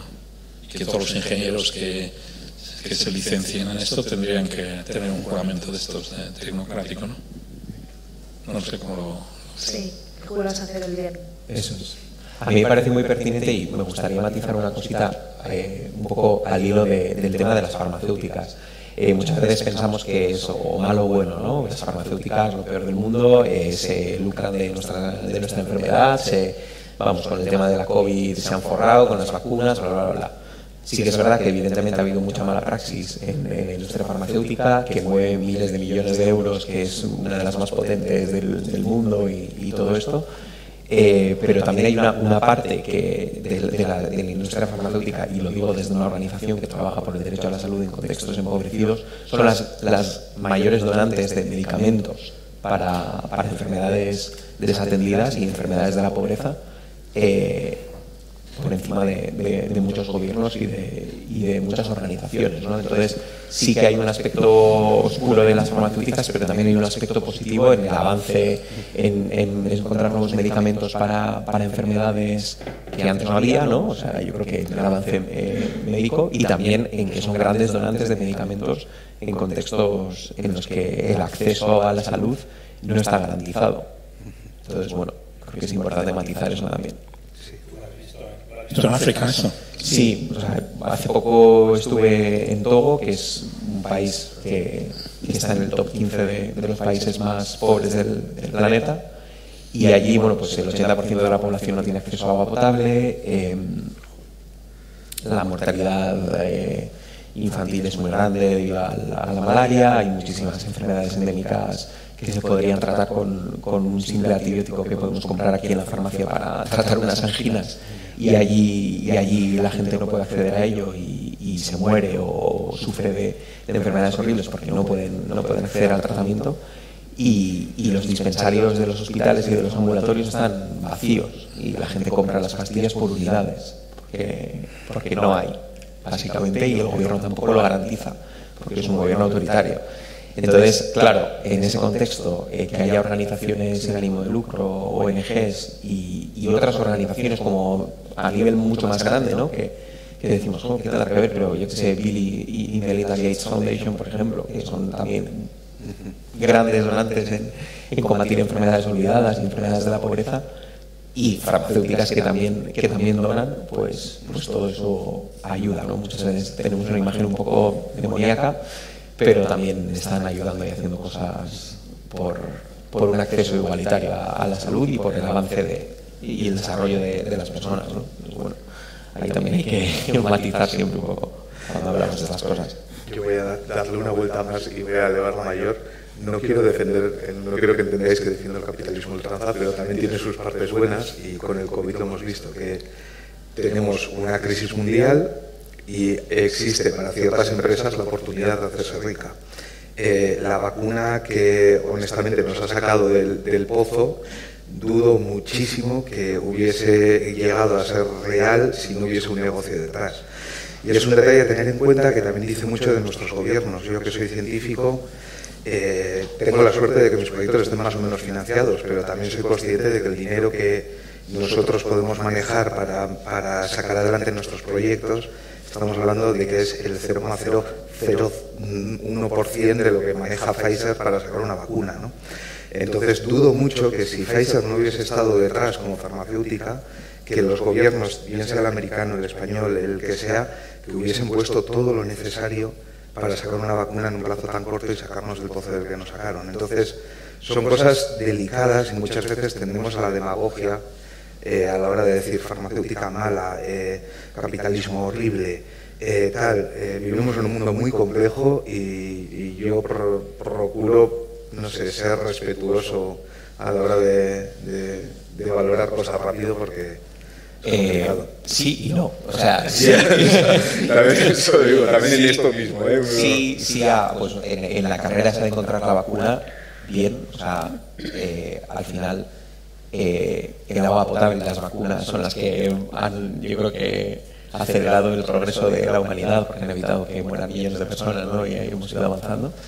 Y, y el encontrar una vacuna tan rápida ha estado muy bien, pero lo que creo que ha sido un error ha sido eh, que haya habido un acceso eh, que no ha sido equitativo en el acceso a las vacunas y que no ha habido una liberalización de las, de las patentes una vez se haya descubierto que esa vacuna es efectiva.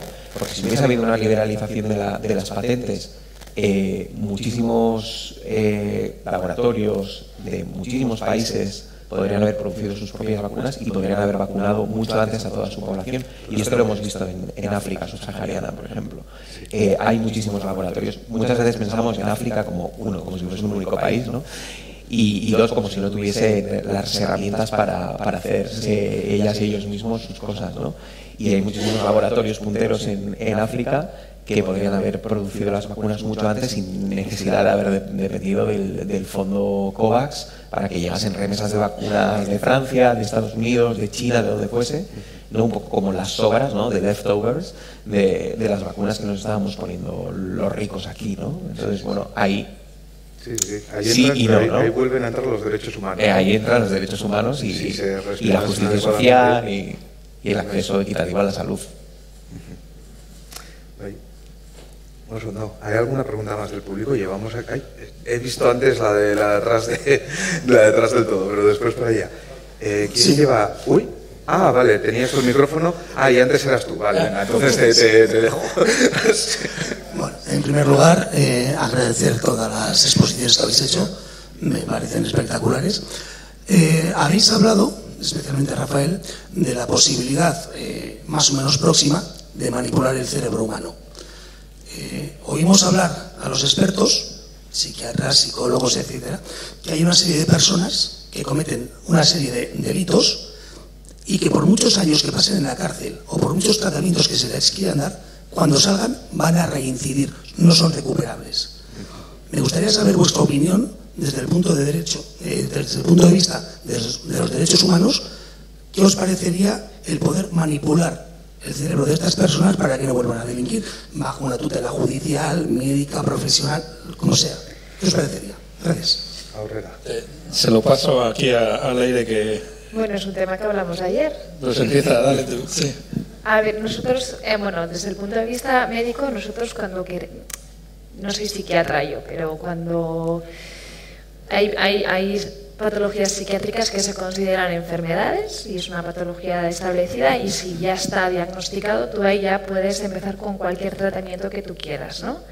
Y luego hay una serie de personalidades que ahí están en el límite y hay situaciones que están en el limbo. Entonces, si nosotros tenemos, o sea, nosotros aplicamos medicación en los pacientes que tienen enfermedades mentales y ahí a nivel legislativo no hay ningún problema, eso es así. Entonces, en cuanto a la neurotecnología, lo que yo le decía a Rafa es que yo creo que hay que hacer lo mismo, es decir, esta persona que tú planteas, que tú crees que va a reincidir, está enferma.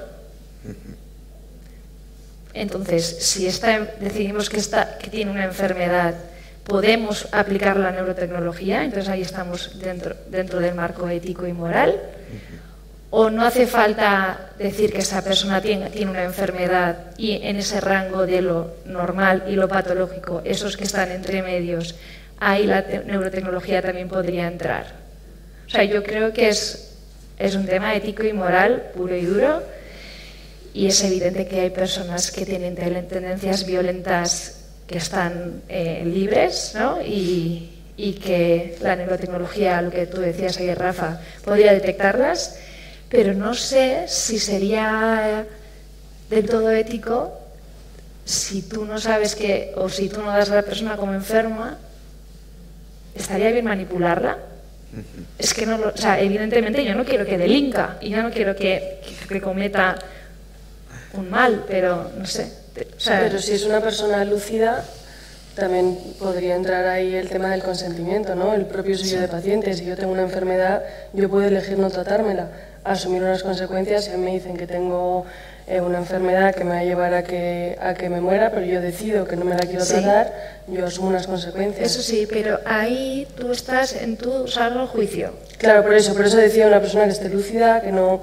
Se dice, Pero- el psiquiatra da el, el, ¿no? el diagnóstico de que estás en, este- el Eso paciente está en su sano juicio Eso para es. tomar sus propias decisiones. Entonces, esta persona que creemos que al salir de la cárcel puede volver a reincidir, ¿está en su sano juicio? Yo lo consideraría como un problema médico. Es un problema. Yo, yo, lo, yo lo que haría, bueno, también hablando lo- ayer con Leire, es quizá ah, abrir un poco el- la medicina, metiendo en me- en medicina ciertas cosas que no están ahora, no se ven como problemas médicos. ¿no? Y yo creo que cuanto más entendamos el cerebro, más vamos a tener que hacer esto, porque muchos de esos comportamientos delictivos o penales o de violencia que estaban ant- antes de erradicar las guerras, pues vamos a entender perfectamente por qué ocurre, ¿no?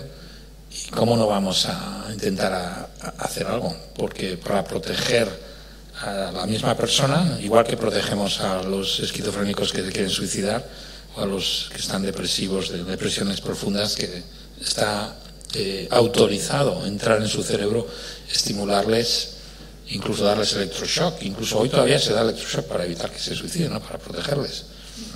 Eh, pero claro, ahí es lo que dice el aire, que hay, un, hay una zona gris que dice, bueno, esto es una... ¿Quién, deci- quién decide que una persona es enferma o no? Es eh, mentalmente el psiquiatra. Sí, pero los psiquiatras tienen unas discusiones enormes. Por ejemplo, la esquizofrenia. Tienes la, los esquizofrénicos y luego la personalidad esquizoide. En los esquizofrénicos claros, pues es el 1% de la población, pero personalidad esquizoide, pues ya estamos hablando de un 5%, 6% de la población. Y ahí donde cortas, ¿no? Hay algunos que son más normales, otros que son más anormales, y, pero tiene que ser una decisión, eh, además, que puede cambiar también con el tiempo, ¿no? Una decisión poco basada en el conocimiento que tienes del, del problema, ¿no? Es que igual hay que crear un nuevo, una nueva escala métrica que pueda regular esa escala de grises para poder aplicar las neurotecnologías, porque yo creo que has hecho una pregunta muy interesante. O sea, si sabemos que una persona va a volver a cometer ¿no? un asesinato, o es muy probable que lo haga, es que ha- habría que pararlo. Y, y todos sabemos que lo tenemos que hacer, pero ¿podemos entrar en esa mente para hacerlo? Es que no, no sé. Es una pregunta abierta, no, no cabe No duda. sé. Ahí. Bueno, el tiempo se nos está yendo de las manos y había un par de preguntas. Ahí detrás, ¿no? Había Eh, ahí- por ahí atrás teníamos una pregunta, baja tú, ¿eh? Hola. Ah, tiene el micrófono ya. Sí, Ok, sí. vale, vale. Hola. Primero, un placer, sobre todo no es por despreciar a los demás, pero a Rafael Yuste me parece, vamos, un lujazo tenerle. Muchas gracias. Eh, yo quería, a ver, verdaderamente la reflexión que tengo yo, a mí no me preocupa lo que hagan los grandes oligopolios, porque están eh, muy, muy legislados o eh, ya sabemos lo que se espera de ellos. Yo la gran pregunta es, en aras de la seguridad nacional, ¿Hasta qué punto los estados, dentro de estados democráticos, ya ha pasado con el COVID, pueden eh, anular derechos humanos?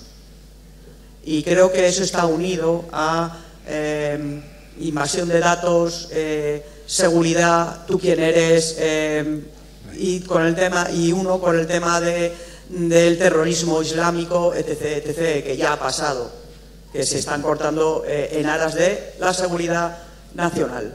Entonces, a mí me preocupa verdaderamente la legislación de estados democráticos que se tomen esas libertades, ¿no? De eh, cortar derechos humanos en aras de el beneficio o la seguridad nacional eh, bueno, de cada país. Muchas gracias. Bueno, esa es una, una pregunta también muy, um, eh, muy seria, pero precisamente esta mañana eh, en- con un, un grupo de Aranzadi estamos hablando de, de la Convención de Ginebra, ¿no? Y, para eso están las Naciones Unidas y las convenciones internacionales. Hay ciertas cosas, ciertas reglas que están por encima de los estados. Y mm, el mundo no es perfecto, pero se respetan en, gran medida. Entonces, eh, si hubiesen derechos humanos que protejan, por ejemplo, la, la intimidad mental de las personas, ¿no? Eh, y un Estado democrático ha firmado ese convenio, pues sería imposible que se saltase para la, a- se saltase a- hacia la torera ese convenio por cuestiones de seguridad nacional, hubiera consecuencias muy serias. Igual que ha habido eh, tratados internacionales que regulan las armas químicas, las armas biológicas, las armas atómicas. ¿no? La, yo creo que la, energía atómica puede ser un ejemplo a seguir para las nuevas tecnologías. ¿no? fue las Naciones Unidas. Bueno, es una historia muy bonita porque todo, todo empieza con los mismos físicos que hicieron la bomba atómica, el proyecto Manhattan, que eran precisamente de, de la Columbia el edificio al lado donde trabajo yo es donde empezó el proyecto Manhattan, por eso se llama Manhattan, empezó allí en, la isla de Manhattan. Y fueron los mismos físicos los primeros en dar la tabarra a las Naciones Unidas para regular la energía atómica. Y a través de su eh, lobbying, ¿cómo se dice lobbying en Creo que ¿no? Sí. Pues, pues a través de su lobby eh, fue el presidente Eisenhower hizo un discurso en Naciones Unidas poniendo en evidencia que, oiga, aquí o regulamos esto o, se acaba el mundo, ¿no? Y se creó la, la Agencia de Energía Atómica en Viena, que ha regulado la energía atómica por usos pacíficos y militares desde entonces, crucemos los dedos sin ningún fallo, ¿no? Entonces, esto puede ser un modelo a seguir con tecnologías que pueden tener tanta importancia como cambiar la esencia del ser humano a través de, implantes cerebrales. ¿no? Entonces, si, si tienes un convenio de estos, lo ha firmado en Naciones Unidas y lo ha firmado tu país, pues no, tú no puedes. Si, si un país democrático ahora empieza a utilizar armas biológicas nucleares saltándose estos convenios, bueno, es un, es un, es un problema para este país. ¿no? tenemos un ejemplo ahora mismo eh, que está ocurriendo en España súper mundano, pero que creo que nos puede servir para debatir esto. Según leí en las noticias ayer, eh, han debido de regular que a partir del año que viene los coches tengan que poner una camarita para vigilar si te estás quedando dormido, utilizando, eh, viendo cuántas veces estás parpadeando e inteligencia artificial, ¿no? Entonces parece que eso rompe, digamos, o sea, traspasa barreras que el derecho, digamos, nos protegen, en donde tú no puedes tener una cámara conectada a Internet eh, apuntándome a la cara todo, todo el santo día cada vez que, conduzco, ¿no? Pero como bien decía ella, ¿no? Eh, por el bien común de que nadie se quede dormido y aparte de tener un accidente el mismo, mate a alguien o provoque un accidente a alguien más. Y no sé, me pareció curioso porque no era una noticia como muy importante, me parecía que tenía un montón de miga. ¿A ti qué te parece bien o mal? Pues que no, y entramos ahí, ¿no? De qué me parece bien o mal, y tampoco lo tengo claro. Yo tampoco. Tampoco lo tengo claro. Creo yo, que... yo tampoco lo sé. Ya. Yo diría que me parecería bien siempre y cuando estuviera bien regulado, que eso, o sea, que la grabación que están haciendo de mi cara se quedaba en mi móvil y punto pelota y de ahí no salía, ¿no? Pero claro, ¿qué va a ser pondría un límite. Si tú tienes una enfermedad diagnosticada que sabes que te va a provocar más somnolencia de la debida o estás con medicación sedante, por ejemplo, o tienes un síndrome de apnea del sueño mal controlada y tienes somnolencia diurna, es una especie de, para regularlo. ¿eh? En estos casos podría estar más justificado, yo creo. Pues éticamente. Pero es que parece que el año que viene todos los coches salen con eso ya, ¿eh? del concesionario. o, sea, o, sea, pero eso es como que, que no, no, nadie sabe muy bien cómo, pero han cogido una carretera de, de al lado y de repente, pum, todo coche que compres lo va a tener. Y dices, ¿y dónde está mi derecho a la privacidad? Bueno, y la, porque la cantidad de llamadas de teléfono que hacemos, bueno, o, o que estamos haciendo cosas en el coche, ¿no? Ya. Pues no sé. Así. Bueno, en fin, está, está, claro que el debate se entiende, ¿no? O sea, las voces tal. Eh, nos estamos ya pasando un poco del tiempo, pero tengo aquí una pregunta esperando hace un montón y el chico de verde allí también, y todo llega un poquito más tarde, ya lo siento. Y si os parece, hacemos, eh, procuramos que sean cortitas y lo, y lo dejamos ya, porque la gente tendrá cosas que hacer. Hola, oye, es para un par de preguntas para Rafa. Una, eh, yo le he escuchado este ejemplo de para conocer cómo funciona un cerebro, como si fuera una pantalla, eh, se empezó conociendo no sé, cómo se activa o no se activa un píxel. Y entonces decíamos, oye, a través de un píxel uno no puede entender de qué va la película, ¿verdad? Entonces, el proyecto Brain, que ya lleva más o menos la mitad de su recorrido, ¿no? Desde el año 10, desde el 13, bueno, pues se ha ido desarrollando. Ahora ¿Cuántos píxeles estarían encendiendo en esa pantalla? Eso una. Y la segunda sería si, nos puede dar algunos ejemplos de, la frontera del conocimiento ahora mismo, bueno, dentro del proyecto. Eh, el año pasado se publicó un paper que miraban a un millón de neuronas a la vez en el cerebro de un ratón. Entonces, esto que estás comentando tiene que ver con el problema, el cuello de botella fundamental de la neurobiología, es que los métodos que teníamos antiguamente solo nos permitían estudiar las neuronas de una en una. Y es exactamente como dices, ¿no? que es como intentar ver una pantalla de televisión si solo puedes ver los píxeles de uno en uno, pues nunca te vas a enterar. ¿no? Entonces, en el cerebro de un ratón tiene 100 millones de neuronas, pero se ha conseguido eh, registrar a la vez un millón. O sea que no son todos los píxeles de la pantalla, pero no está mal, es el, el 1%. En animales más simples, por ejemplo la hidra, que la estudiamos en el laboratorio, hemos conseguido verlos ya todos, pero tienen solamente 300 a 600 neuronas. ¿no? Entonces hay animales ya donde puedes ver la actividad de todo el cerebro, por primera vez, de todo el sistema nervioso. Desde hace, eso desde hace cinco años, seis años. fronteras de conocimiento. En neurociencia está todo por, por, descubrir, pero te pongo una cosa que me interesa a mí muchísimo, que es un pensamiento. Cuando tú tienes un, un pensamiento, ¿qué ocurre en tu cerebro? ¿Qué es eso? ¿no? Tiene que ser una cosa física, ¿no? física química eh, y si pudieras entender que es un pensamiento, pues es como un ladrillo con lo que puedes empezar a entender cómo funciona la mente humana, porque está todo basado en, pensamientos, en ideas. ¿no? Entonces, eso es un, ejemplo, pero de, muchos. Eh, que es una memoria, que es eh, cómo es la percepción, cómo... Lo último que te haya sorprendido así, de, no sé, de lo que se haya descubierto o de lo que se haya desarrollado ahora.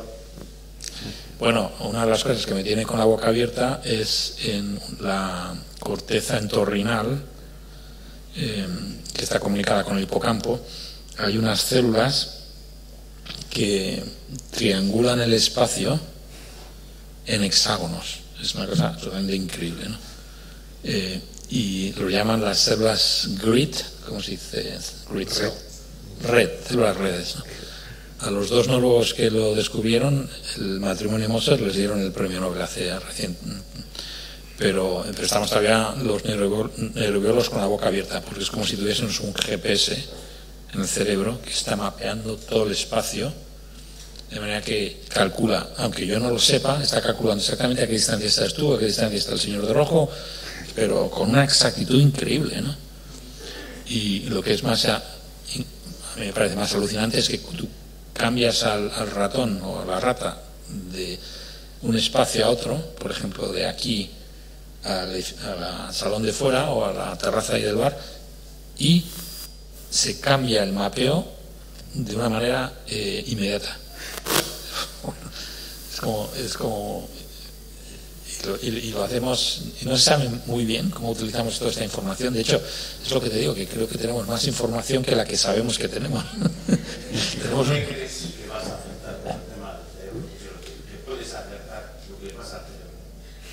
todas las dudas que se, se manifiestan permanentemente cada minuto sí. sobre los descubrimientos que hacéis. Sí. Parece es, es, es, con, bueno. con, la teoría del todo de Sagan y Hawking que parecía que, que se podía saber y al final no sabes nada. Y yo la sensación que tengo sí. es que con todos los vale. estudios que hacéis, que el esfuerzo que hacéis mundial, pero me da la, me da la sensación que cada vez aparecen más incógnitas que, que, que respuestas. De acuerdo. Pues quizá, eh, el, ¿te parece pues, esta la, la, última o la...? No, tengo un chico ahí para que, que no nos coléis, por favor. vale. Bueno, pues el, eh, una respuesta muy breve. ¿Por qué somos tan optimistas que vamos a solucionar el cerebro? Porque tú miras hacia atrás a la ciencia, el pasado predice el futuro. Y eso, el, por eso en Aranzadi estudiamos la historia, que es tan importante, ¿no? Y tú ves, el progreso de la ciencia es inexorable, y sobre todo la medicina. En los últimos 200 años, los, la medicina, que es la ciencia aplicada al cuerpo humano, ha ido parte por parte del cuerpo Hombre, y no digo que lo hemos machacado, hay, hay muchísimas enfermedades, pero es, está, es muy impresionante. Yo cuando estudié la carrera, la mayor parte de los cánceres eran mortales, ¿no? Y ahora la mayor parte de los cánceres se curan. Pues no está mal en 30 años, ¿no? Entonces, yo creo que antes o después, ¿por qué, vamos, ¿por qué no vamos a, a, entender el cerebro es otro órgano del cuerpo, ¿no? Eh, y eso, eso, no te puedo decir cuándo ni cómo, pero, pero un poco tenemos los médicos y los científicos un poco la, el, el, el, empuje de, de, los que han venido detrás y de los que van a venir en, el futuro. ¿no? Bueno, eh, sí, bueno, yo quería lanzar al aire una pregunta tal vez más desde la perspectiva de las humanidades que como jurista me toca, eh, puede que más relacionada con la sociología o la filosofía, y quería preguntaros que, sabiendo que tanto la tecnología como el progreso social y humano están avanzando, progresando de forma paralela, eh, ¿hasta qué punto creéis que la, intervención sobre los impulsos neuronales y el control sobre los pensamientos de las personas pueden llevarnos a un proceso social de deshumanización? ¿no? Porque estamos hablando de la evolución de la humanidad, pero si eh, comenzamos a controlar cada vez más nuestro propio cerebro, eso nos deshumanizaría y también quería preguntaros sobre todo qué pensáis a los científicos. ¿Creéis que esta consecuencia eh, social de deshumanización puede ser real desde el punto de vista científico? Dale tú, Teresa, ¿qué, opinas tú de esto? Bueno, yo creo que eso va un poco por uno de los derechos de los que hablaba Rafa, el, el derecho a la identidad, ¿no? A tu yo, a que cada uno somos un yo y eso no se puede perturbar. Eh, es muy difícil de contestar. Yo creo que es un poco como todo, pero si realmente nos aferramos a los derechos que se están proponiendo y seguimos con un avance, pero que no ataque a los derechos personales de cada uno, pues no se tendría que llegar a una deshumanización, ¿no? Pero... Exacto. Eh, los, los nuevos derechos humanos pueden proteger el ser humano de una manera más fuerte y distinta a lo que se ha hecho hasta ahora. Eh, y los derechos humanos definen mejor que cualquier otro documento qué es un ser humano. Entonces yo creo que por eso yo creo que es tan importante, ¿no? Porque se puede podemos decir entre todos qué, tipo de ser humano queremos ser y eso lo dejamos escrito, y en vez de ir así a, a, ciegas hacia el futuro, decimos no no este es este es el futuro, esto es lo que queremos preservar y que la gente desarrolle la tecnología que quiera, siempre que se, se siga estas pautas. ¿no? estás tocando justo lo, que yo iba lo que yo iba a atacar, que es que aunque me voy a meter en camisas de once varas porque no es mi campo, yo soy científico, ingeniero y tal, pero todo menos demasiado humanista, más allá de un aficionado de las humanidades, yo creo que la deshumanización pasa primero por la definición de lo que es la humanidad y lo que es y lo que es el ser humano, ¿no? Entonces ahí ya es donde pasamos a palabras mayores, ¿no? Y habría que hablar pues ya con filósofos, etcétera, pero si no me equivoco, la Carta de los Derechos Humanos también delimita un poquito este concepto. Y ahí es donde pasaríamos a definir ya, ¿no? O sea, para hablar de transhumanismo primero hay que definir bien el humanismo, ¿no? Para saber dónde está el límite. Cuando construimos los primeros aviones, el ser humano fue capaz de volar. Yo que sé, quizás por aquellas, no lo sé, pero quizás por aquellas tenían el mismo debate, ¿no? De, pues lo de siempre, estamos jugando a ser dioses o, tal, o no lo sé. Pero bueno, eso es lo que me venía a mí a la cabeza. Sí, yo volvería un poco a lo que, a lo que hemos comentado antes, ¿no? O sea, el, el, integrar, el, integrar perspectivas de una forma transversal, o sea, el, integrar al, a los avances científicos que se nos plantean hoy en día, pues las ciencias sociales y humanas, ¿no? O sea, yo creo que tienen que estar ahí como pues como garantes un poco de que esa tecnología se va a utilizar bien. Creo que puede ser un arma de doble filo, sí, creo, que podemos ir hacia una deshumanización, puede ser, pero igual podemos ir también a una gestión mucho más eh, amplia y diversa de lo que, de lo que, de lo que somos como, como especie, ¿no? como, como entes ¿no? habitantes de planeta.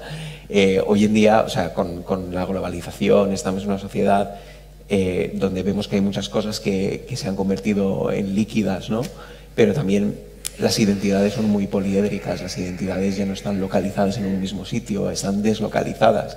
¿Eso puede ser malo? ¿Puede haber una pérdida de identidad de lo que somos? Sí, pero también puede haber un, nuevo amplio, un nuevo abanico de oportunidades de cómo nos definimos y cómo estamos interconectados con personas que igual no están aquí con nosotros ahora mismo, pero igual están a miles de kilómetros, igual compartimos con esas personas partes, fragmentos de nuestra propia identidad, ¿no? Y nos podemos coordinar otra vez volviendo un poco a, yo barriendo un poco para casa, para Aranzadi, ¿no? como organizaciones de la sociedad civil locales, pero también a nivel global, que podamos unirnos para, para luchar por, por, causas comunes. ¿no? Entonces, yo creo que hay, eh, hay amenazas, pero hay muchas oportunidades también, ¿no? De cómo redefinirnos. Mira, tenemos eh, una última pregunta prometida y no quiero eh, dejar a nadie sin la oportunidad. Cortita, puede ser. Sí. y cerramos ya, ya a menos cuarto nos vamos todos a, a cenar. Prometido. Siempre que se habla de tecnología, siempre ah, salen los derechos humanos, pero también qué obligaciones tenemos, porque siempre hay muchas limitaciones. Entonces, ¿qué papel jugaremos nosotros? Uf. pues, el, pues una solución, Aranzadi. El trabajar en junto, juntos en, en Ausolana, como, Ausolana. Lo, como lo hacéis aquí. Eh, abordar los problemas, eh, intentar solucionarlos eh, entre todos. Y de hecho, eh, me parece eh, muy bonito que hagamos esto aquí hoy, porque Aranzadi cumple 70 años y empezó aquí, en este sitio, ¿no? 75. 75. En el 47, eh, sí, cumple, bueno, de hecho la primera sede de Aranzadi estaba aquí en, en el Museo de San Telmo y la vinculación con San Telmo es, vamos, desde entonces Sí. espectacular, ¿no? Pero, pero bueno, sí, yo creo que al final es eso, ¿no? La, la sociedad civil nos tenemos que organizar, ¿no? Y, y generar ese espíritu crítico y de, conocimiento, pero siempre, ¿no? O sea, apoyándonos mutuamente, pero con un, como con un control de lo que se va haciendo, ¿no? Porque al final nos afecta, ¿no? Como sociedad. Yo creo que una sociedad comprometida con espíritu crítico y organizada y activa es la que realmente puede ser garante de cómo, de cómo cogemos esta responsabilidad de, los nuevos avances que se van dando, ¿no? estas obligaciones que tenemos. A mí siempre me sorprende la, el, el poder y la que tiene el grupo. ¿no? Con un grupo bien organizado no hay nada que se le. ningún obstáculo que no pueda resolver. Y eso lo he aprendido en, las ausolanas de, de Aranzadi, eh, con- encontrando los huesos de, de la Andía, por ejemplo, ¿no? que parecía una cosa imposible, que no dábamos eh, un duro por la. Y, fue a base de trabajo duro en, en grupo, ¿no? Eh, y, y- y al final lo, lo consigues. ¿no? Entonces yo creo que eso es una lección que, que se puede trasladar a la sociedad, ¿no? que no estas cosas que dan miedo y parecen imposibles, eh, pues que no, no, no que piensas Y es un poco volviendo a lo que has dicho tú, ¿no? Miremos lo que hemos hecho en el pasado, ¿no? Si volvemos a las sociedades de- prehistóricas de personas cazadoras recolectoras, ¿no? El grupo ahí tenía muchísima importancia, ¿no? Eso también en Aranzadi, seguro igual hay algún prehistoriador por aquí perdido que puede aportar algo, pero pero sí, siempre ha estado ahí y yo creo que siempre tiene que estar. Esto es un valor, ya lo comento también para acabar como, como foráneo que vengo aquí, que tenéis en esta sociedad, que es maravilloso, lo de la Ausolana, ¿no? la, el- la capacidad de organizaros y trabajar en grupo de una manera desinteresada, eh, me parece un, modelo a, seguir, a copiar. Bueno, pues para cerrar yo eh, tengo pensada una, una pequeña, cuatro palabras para dejaros con una reflexión que lo he usado en algún otro evento, así que perdonadme si me los quedáis escuchando repetido, pero estamos hablando de revoluciones tecnológicas y pensando en revoluciones tecnológicas, eh, pues miro para atrás, miramos para atrás y nuestros bisabuelos conocieron el telégrafo, la llegada del telégrafo a nuestras vidas, ¿no? la capacidad de comunicarnos a distancia. Imaginaos lo que era aquello para ellos. ¿no? Nuestros abuelos vieron la radio, la llegada del teléfono a nuestras casas. Mis padres, yo ahora tengo 40 años, pues bueno, mis padres tengan setenta y tantos, eh, vieron la llegada del ser humano a la luna, por no hablar de la televisión. Yo, eh, mi generación, hemos visto la llegada de Internet y sabéis cómo ha cambiado nuestras vidas. Cuando miro a mis sobrinas, que han nacido ya con Internet en casa, pienso en qué revolución han visto ellas y me doy cuenta de que Instagram no es una revolución tecnológica. ¿Entendéis? Algo tiene que llegar que, les dé la vuelta al mundo en el que viven eh, 300, o sea, 180 grados para que sus hijos eh, sean completamente diferentes a ellos. No lo sé, yo personalmente creo que por aquí pueden ir los tiros. Sea como sea, hoy habéis tenido la oportunidad de ver un cachito de, de o de escuchar un cachito de lo, que, de lo que parece que está por venir. Espero que hayáis aprendido algo, espero que os lo hayáis pasado bien, que os vayáis con cosas para las que pensar mañana. Y eta esker gerturatzagatik, mi esker zuen eta mi esker zuei.